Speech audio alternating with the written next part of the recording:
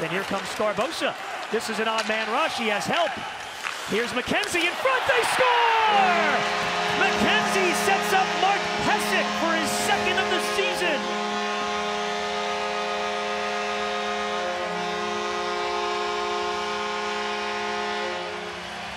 I don't know. I mean, we all look for remedies when things don't go well, and the Panthers didn't waste long to get the perfect remedy for having been scored on.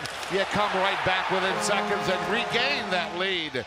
You know what that does? It makes your goalie feel good. It makes the defense feel good. It makes the whole bench feels good because you came right back and without a hiccup take the lead back. And uh, am I right? Is it two defensemen now have scored?